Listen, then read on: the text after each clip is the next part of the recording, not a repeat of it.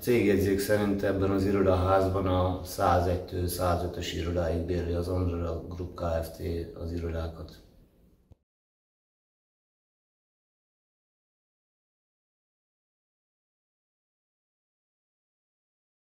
Eljöttünk ide Miskolcra, az Androda Group Kft. székhelyére, bejegyzett székhelyére.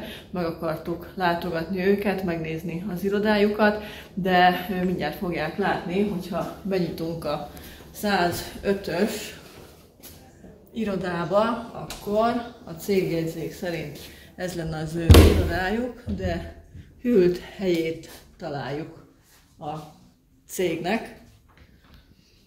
Ö, és miért is jöttünk ide, Jani? Tájékoztatást szerettünk volna kérni tőlük, hogy tisztában vannak-e a magyar szabályozással, hogy ivóvíz bázisvédelmi területen milyen veszélyes anyagokat lehet tárolni, vagy milyen veszélyes üzemet lehet létrehozni.